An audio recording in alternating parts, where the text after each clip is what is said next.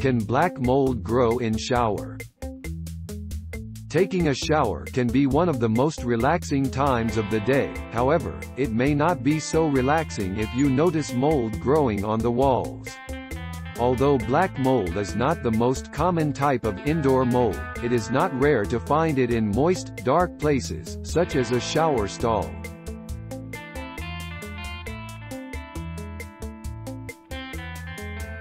Thanks for watching.